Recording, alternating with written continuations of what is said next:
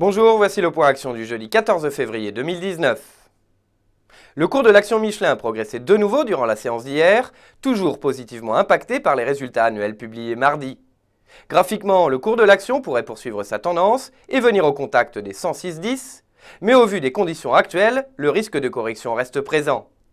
Ainsi, le cours de l'action Michelin pourrait rejoindre la moyenne mobile 100 à nouveau. Retrouvez-nous dès 11h pour le Market Live et dès demain pour d'autres analyses. Thank